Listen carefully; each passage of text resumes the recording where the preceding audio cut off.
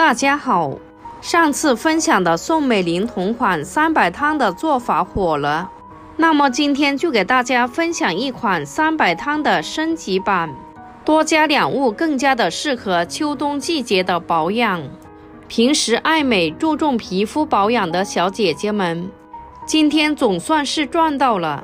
视频看完之后，一定要先点赞收藏起来。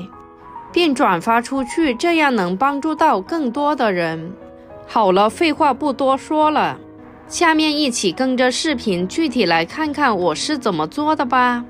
首先，我们准备二十克花生，再往里面加入两百度的开水，给它烫一下，再用勺子给它搅动一下，使它受热均匀。搅拌均匀之后，先放一旁，让它浸泡着备用。首先，我们准备一大块银耳，再往里面加入适量的温水。如果想要保持银耳好的口感，一定要用温水泡发，这样才能使煮出来的银耳更加的粘稠。假如用热水泡发的话，不仅影响口感，而且还会造成银耳大量的营养成分流失。记住，我们在泡发的时候，银耳的根部要朝上，这样才能够完全的保证银耳全部的被水给浸泡住。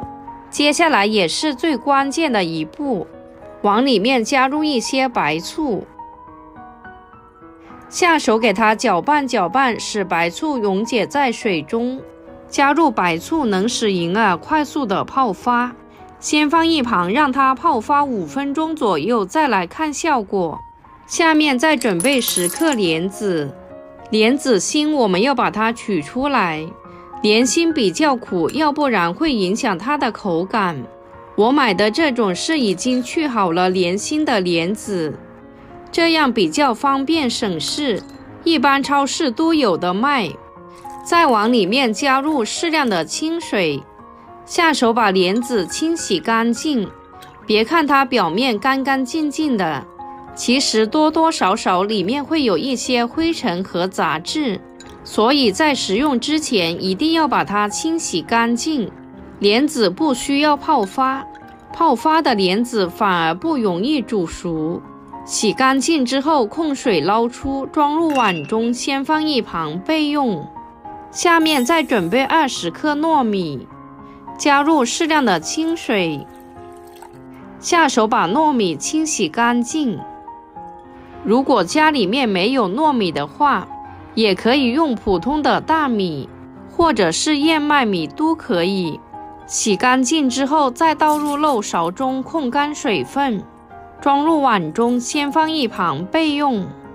五分钟过去了，这时的银耳也已经泡发好了。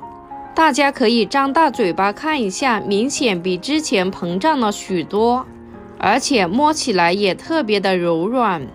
泡发好的银耳也非常的漂亮。再把它控水捞出，装入另外一个碗中，再往里面加入一勺面粉，倒入适量的清水，下手把银耳清洗干净。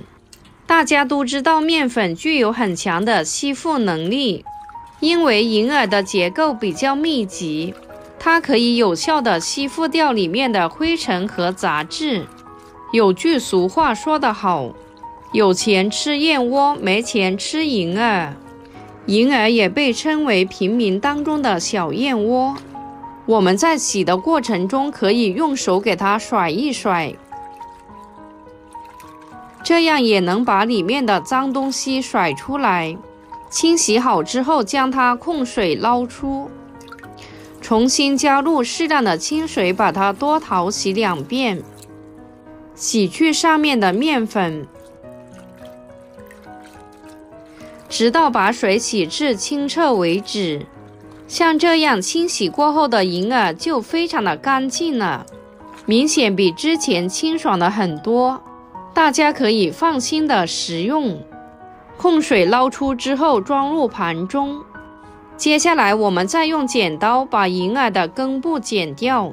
银耳的根部不能吃，它里面含有对人体有害的物质。因此我们一定要把它去除干净，这样吃着放心也健康。然后再把它撕成小块。银耳又叫白木耳，它是一味滋补的良药，而且它的药用价值也非常的高。全部撕好之后，先放一旁备用。最后再准备一个雪梨，往里面加入少量的清水，先把它的表皮湿润一下，再往上面加入一勺食用盐。下手把雪梨搓洗干净。食盐具有颗粒性，它的摩擦能力也非常的强，而且还能起到一个消毒杀菌的作用。用食盐来搓洗会洗得更加的干净。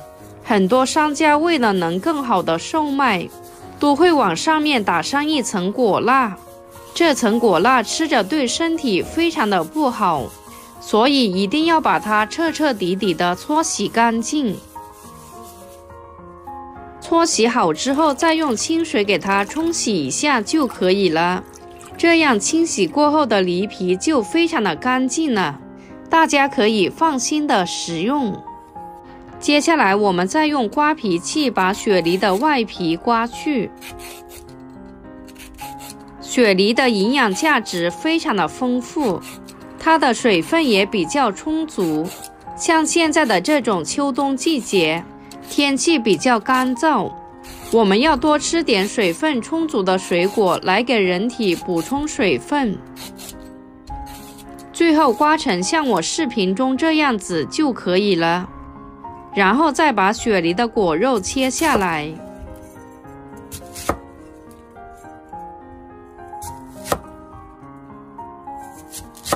切下来的硬心就不要了。最后改刀把雪梨切成厚厚的薄片。雪梨是一种水分比较充足的水果，它的口感吃起来也比较清脆爽口又清甜，所以才深受广大朋友的喜欢。全部切好之后，先装入碗中备用。这时的花生也已经浸泡好了，我们再把花生的外皮去掉。开水烫过之后的花生皮，用手轻轻一捏就脱落了。花生的营养价值也特别的高，平时我们煲汤煮粥的时候可以放上一点，也可以用它来做油炸花生，也非常的好吃。尤其是喜欢喝酒的朋友，油炸花生和它才是天生的一对。全部剥好之后，装入碗中，先放一旁备用。接下来再准备一个破壁机，把准备好的食材依次的倒进来，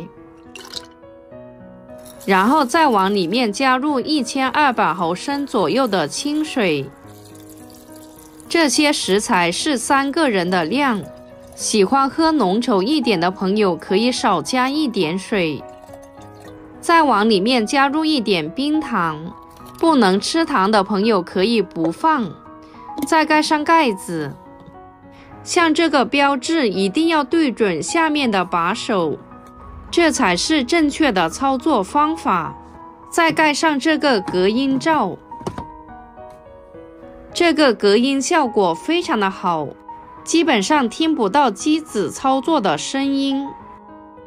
我们先按菜单选择米糊键，再按开始键就开始操作了。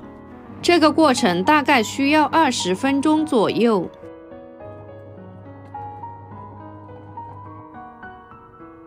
趁着这个时间，我们可以做点自己喜欢的事情。假如是早上喝的话，我们最好是头天晚上准备好食材，浸泡好。把时间预约好，第二天早上就可以美美的享用了。这样就非常的简单、方便又省事。时间到了之后，我们再把盖子取走，再把破壁机取出来。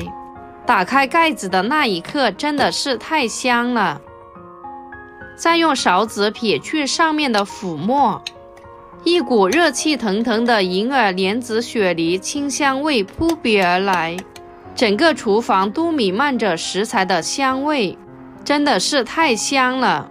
打出来的食材也是像牛奶一样白，细腻又丝滑，白白嫩嫩的，看着就非常的好喝。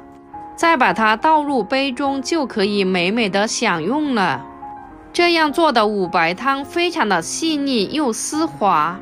冬天天气比较寒冷，来上这么一杯热乎乎的五白汤，喝着心里特别的暖和，口感软糯顺滑，一点都不输燕窝。喜欢的朋友赶紧点赞收藏起来试试吧。好了，今天的视频就分享到这里了。点击我的头像可以看到更多的美食视频，我们下个视频见啦！